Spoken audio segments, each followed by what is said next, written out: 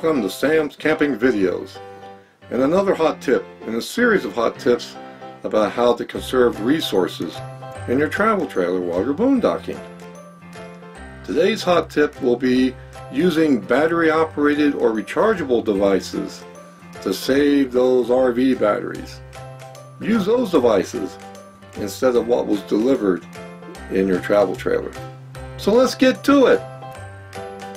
All travel trailers come with a set of delivered 12 volt operated devices and lighting. Now here's one of them, it's a light pad and it uses the RV batteries in your travel trailer. Just about all travel trailers today, they come with some very nice conveniences. And here's an entertainment media center. This runs off of your 12 volt battery system and you see one of its failings actually in using RV battery power is this mechanical part for CDs and DVDs. That is mechanically operated, so it will use your RV battery power. This is what you should use as an alternate to your light fixtures in your travel trailer, and that is battery operated lanterns. Now this is a pretty good one and uh, even has a carabiner on top to you could hang it from a ceiling if you have a fixture for doing so. And this one, as you see, it's quite bright. That's on the low setting. That's the high setting. have a couple of these in your travel trailer while you're boondocking and only use the light fixtures that you have only when you absolutely have to. These can work pretty good as a replacement for using your light fixtures in your travel trailer. Battery operated lanterns. Now you have many devices which in our modern world of the 21st century we just can't do without anymore. Now when I was growing up camping I didn't have like a Star Trek communicator like I saw one of my favorite shows when I was a boy, Star Trek. But now we do. We have cell phones now. and they have rechargeable batteries, which means they need to be recharged. Do not recharge them from your RV system. You can if you want to, but there's other ways to do that. Use a battery recharging brick as I call them, but they're like a recharging station. This one has, I think, about 17,000 milliamp hours capacity. And I recharge all of my phones and other small similar devices like that with this device. See, it has two USB ports for charging. And when you're at home, it has that middle one, the small one there, and that's used for charging him up from your AC power at home. To get a good look at this and uh, he's actually about 16,750 milliamp hour so I was close but the important thing is use a device like this to recharge your phone and other small devices like little MP3 players, even tablets can be done off this. I have never run out of power on this that he couldn't recharge something of mine on the camping trip. It's at least perhaps two-thirds still full by the time I get home. So don't use your little adapters to plug in to your 12 volt system in your travel trailer to recharge your phones and other small devices use a rechargeable device like this and you'll save actually lots of RV battery power when you do that. Now another technique you can use to save on recharging power when you're recharging up your favorite smartphone or any other kind of cell phone is to have a spare battery for it. And in my case, I do I have a spare battery. It came from an older version of, of that previous phone that, that I showed you. This phone is no good, you know, for anything else because uh, it's broke, but it, it can still recharge its battery though, and that's where it comes into play. And that is, if you really have to, to get back online or get back on that phone to call someone back home while you're out camping, but you can't wait for that battery to be recharged, then have this already recharged in like an old broken spare phone that can still, you know, recharge it back up. And this is the only reason why that I bring this along. And that is I can swap out the battery from my current smartphone, stick it in here, and then plug it into that little recharging brick, and then put this battery, which is full, into my current smartphone. And then I'm off and trucking again. Now I'm going to go into alternative battery operated or rechargeable devices that you can use instead of the media center that I showed you earlier in the video and that is bring portable versions of each one of those components with you. So for music I have once again an even older smartphone here and this is like from three phones ago for me with a different carrier. It can't make phone calls and it can't receive phone calls or send or receive text but it can do everything else. And how I use it is as a music player. So I load music files on this old smartphone. You can see it's quite a bit smaller than my than my current phone is, and I'll show you by comparison here if I can get it in there. There you go. See? See how much? See, see the difference? But this can play music since my media center here has a Bluetooth uh, capability, uh, I don't even need to have a cord coming from this phone to the media entertainment center. So I can play the music off of this through the media center and out through the trailer's internal and also external speakers that I have. Don't use any CDs on your travel trailer's media center CD player. That CD player is a mechanical device and it will use battery power.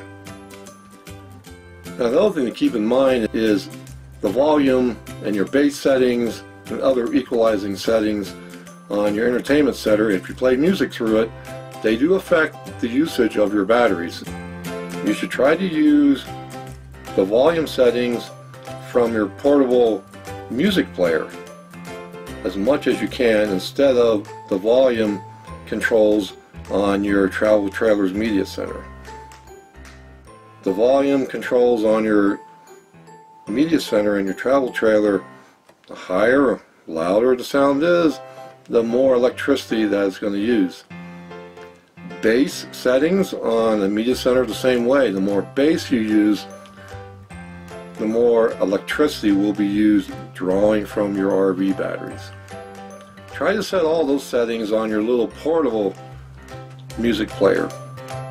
Now, if you don't want to even use Travel Trailer's uh, audio system, you can get a portable Bluetooth speaker, which can play music from your phone or from a dedicated music device, like an old phone or an MP3 player. You see, it's small, show it to you. This is brand new. I just purchased it. Haven't used it yet. but I brought it along just in case I wanted to play it outside using my alternate music source of my old phone which had music files on it. This way I'm not even using any electricity from my travel trailer system to play music. It's all coming from this rechargeable important thing, it's rechargeable. A rechargeable portable Bluetooth speaker. Now for your DVD and Blu-ray playing. Now I don't normally bring a TV with me, so I'm not actually using the DVD function from my Travel Trailers Media Center. So I bring a portable player. It's rechargeable with me. Now here is my rechargeable Blu-ray slash DVD player. And you can see there's the part where you put in your disc in there.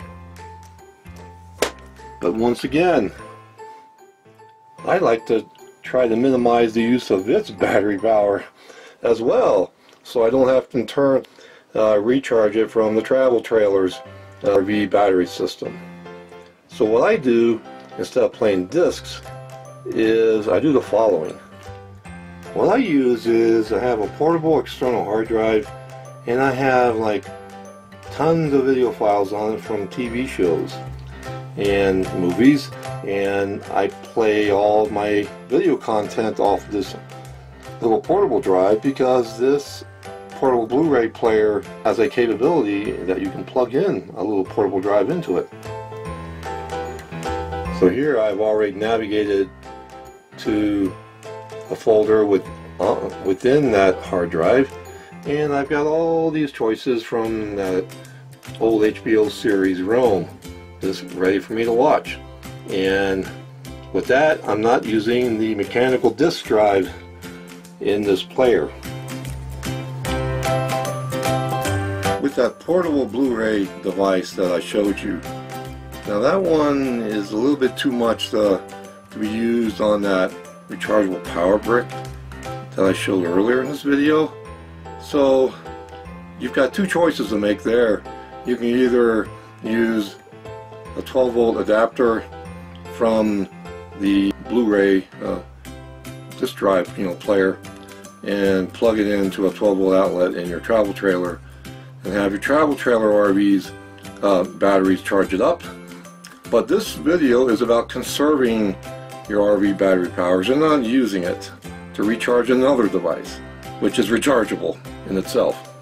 What I'm going to show you is the Supremo solution that I have for recharging larger rechargeable devices and it can also do some other things unrelated to conserving power in your travel trailer while boondocking.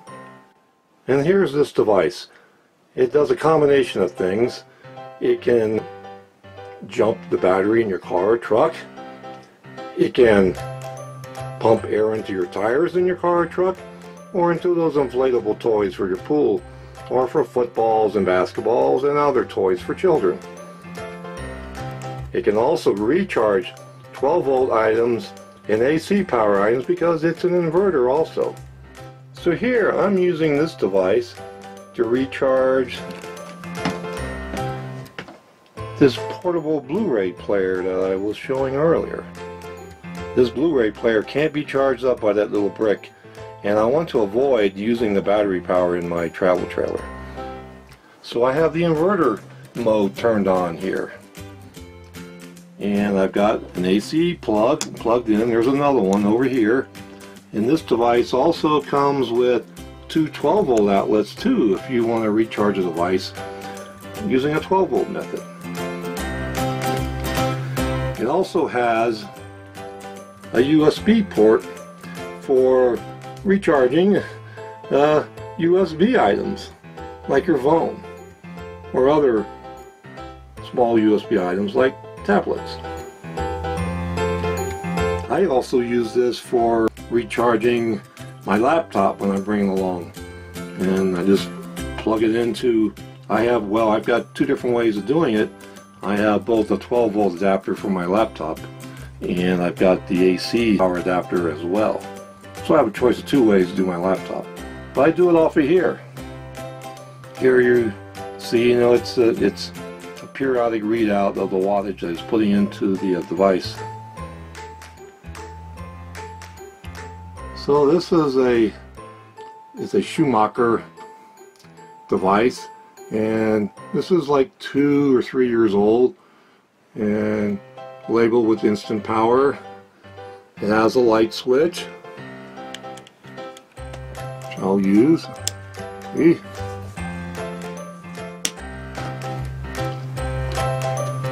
It has the power outputs which I demonstrated earlier. Got 12 volt outlets and AC power outlets. That makes it a inverter. This device is also charged up from your home power. So that's how it gets its initial charge. You have to charge it up.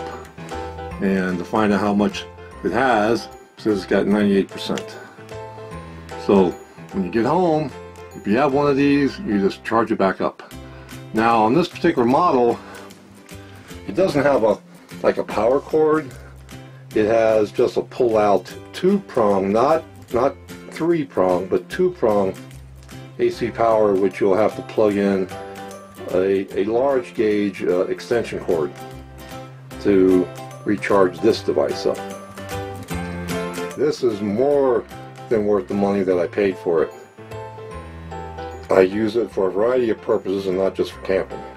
I use it for topping off the air in my tires every month for my cars and truck and I use it for uh, inflating uh, children's toys or pool floaties and I use it as an inverter if I'm like outside I don't have a convenient uh, power source for my AC plug I use that for that purpose and then finally camping as a way to recharge my larger devices that can't be recharged by the other smaller recharging brick that I showed earlier. It's a Schumacher. I don't have the particulars, but I'll try to put it in, in the uh, description of this video. There's probably a newer version of it now, so go, go, go with the newer version if it's available. So to summarize today's hot tip regarding other battery operated and rechargeable devices and their use and how to conserve power from your 12 volt RV system is use rechargeable devices as much as possible. Use battery operated devices which aren't rechargeable as much as possible. Do not recharge your other devices from your travel trailer's 12 volt system. This way you will conserve battery power in your RV battery system if you have one or two batteries wired in parallel use the devices which I showed earlier, which was like a rechargeable brick for smaller devices like phones and MP3 players and other music players. Minimize the use or don't even use the disc player portion of your trailer's delivered media center. Use portable devices for displaying DVDs and Blu-rays, but even best yet, don't even do that and have video files in a portable external hard drive that can plug into your portable Blu-ray player and then use that for your TV watching. Next, minimize the use of volume controls and bass controls and other type of controls that can affect the usage of electricity from your 12 volt system in your travel trailer. Try to control those features from the playing device and not from the receiving device. Finally, you'll need to recharge the larger devices. You may bring a laptop along in that Blu-ray portable player that I was demonstrating earlier. They can't really be recharged from a rechargeable brick setup. So you need something with, with a bit more heft. If you want to really avoid using your battery power in your travel trailer, then get that combination system which I just demonstrated which which can uh, double as an AC inverter as a 12 volt uh, power you know device. But mainly that's to be used for recharging larger devices. I prefer using the inverter mode for that Schumacher that I just demonstrated earlier that concludes today's hot tip about using battery operated and rechargeable battery operated devices and how to recharge them back up without using the precious electricity reserve that you have in your 12 volt system in your travel trailer while boondocking. The final video in this series of how to conserve your resources while boondocking will be your heating requirements and other options for keeping yourself warm on those cold nights inside your travel trailer. Until then, be safe, have fun, goodbye.